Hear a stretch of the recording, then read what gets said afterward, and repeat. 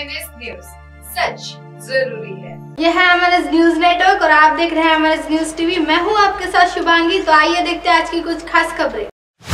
नर्मदा नदी में बेखौफ हो रहा है रेत का खनन। ओवरलोड डंपर बने हादसों का कारण तो सड़कें भी हो रही छलनी। राजधानी भोपाल के नजदीकी ज़िले में नर्मदापुर में रेत की खदानों पर प्रतिबंध लगा हुआ है। बावजूद यहाँ रेत का अवैध खनन का काम जारी है। ऐसा नहीं है कि रेत के अवैध उत्खनन और परिवहन की जानकारी खनिज विभाग के खिलाफ अधिकारी ने नहीं है। उनकी नाक के नीचे यह सब हो रहा है। आइए बढ़ते अगली खबर की तरफ़।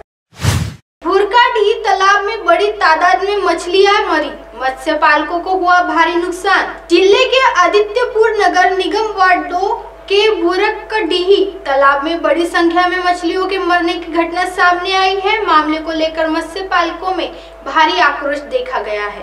बीते दिन स्थानीय मत्स्य पालक ने पाया कि तालाब में भारी तादाद में मछलियाँ मरी पड़ी है।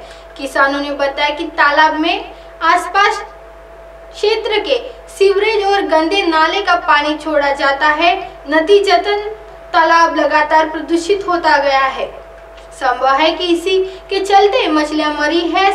मत्स्य पालकों ने बताया कि तालाब में बड़ी मात्रा में मछलियाँ पाली जाती है, जिससे मत्स्य पालकों का भरण पोषण होता बाजारों के अलावा दूर दराज के क्षेत्रों में भी मछलियों का भेजा जाता है। इतनी बड़ी तादाद में मछलियों के मरने से इन्हें भारी नुकसान हुआ है। आइए बढ़ते अगली खबर की तरफ़।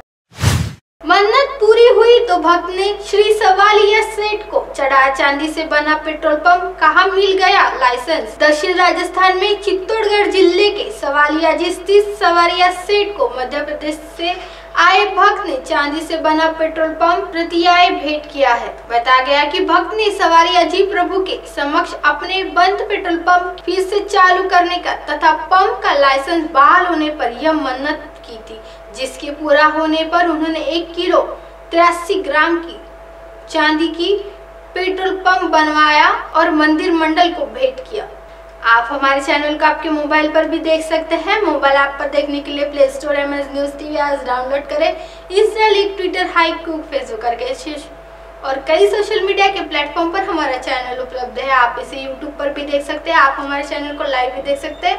www.msnewstv.com पर फ़िलहाल वक्त चला दर्शकों ब्रेक का ब्रेक से लौटने के बाद देखिएगा देश और दुनिया की तमाम खबरें। बनी रही है एमएनएस न्यूज़ टीवी पर। नमस्कार।